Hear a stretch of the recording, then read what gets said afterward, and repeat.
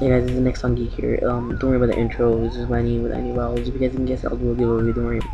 For now, I just wanted to do a intro of my season Go to Zakum helmet. My mage character is seven right now, but I'm showing you guys over level three to thirty-four. I'm gonna just keep on posting clips until I get to level 50 because that's when you know you're gonna wear the Zakum helmet.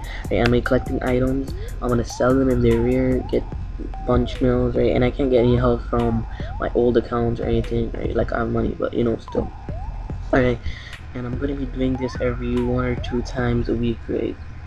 So that should be fine. Unless I get really good feedback, I'm not gonna be hesitating to do more. And um, the way I'm gonna be getting towards the Zakum Hammer is by merching. So this way, you guys can see how to get the Zakum Hammer for yourself. You guys don't already have one. You can see how to make money, anything, you know? See how to level too because I'm showing you guys right now how to level greatly.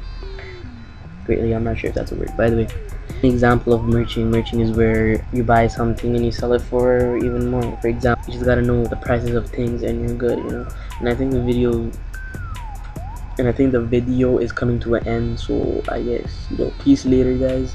Share this make this popular and if I get 100 likes I'll do a giveaway